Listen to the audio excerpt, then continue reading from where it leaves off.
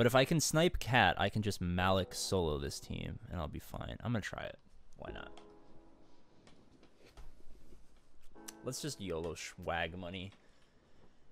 Sometimes you just have to YOLO, and then immediately after YOLOing, you have to swag, and then you have the money.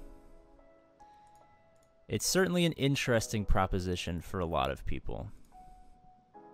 But occasionally, and I mean in very, very rare instances, you have to YOLO, you have to swag, and you have the money. All right. So he took his bonus. I don't know why I didn't basic there. That was a blunder. So he took his bonus turn and didn't AoE which is certainly interesting. Can we stun? Oh, he has, a, he has his protection up from the assist. Let's pop this. They're going to dispel. There's protection up, so we can't stun. He's There's his AoE. Now we got to start. Well, I guess we can't heal because it's not boss lead. So at this point, we got to pop this. At this point, we basically just have to wait.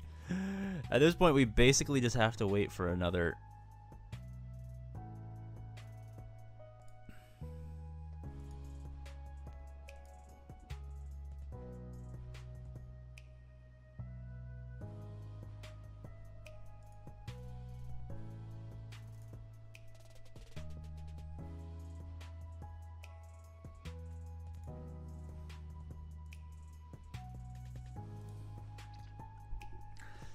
Don't kill Mando. Oh.